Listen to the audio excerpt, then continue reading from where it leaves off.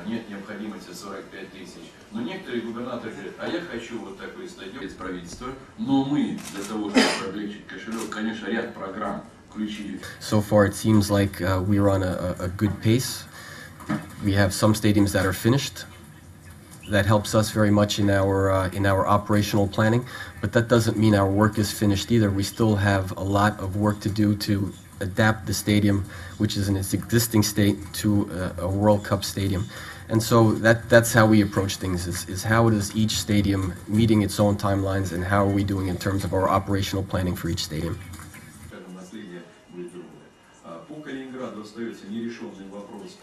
As well, we, we are in the active stage now. It's, it's no longer about Russia in the future, Russia after Brazil, Russia in 2018. We can plan, we have time. We're now here. Brazil is finished. Um, our full focus is now on Russia 2018. и рекомендации до следующего визита.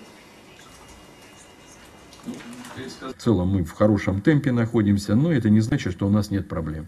Ну, это не значит, что есть проблемы, которые не способны мы решить. Значит, на самом деле, я еще раз могу отметить, что у нас много еще вопросов. Мы в начале пути в такой реализации этого проекта. У нас впереди, значит, с вами три года, и нам нужно будет очень активно поработать.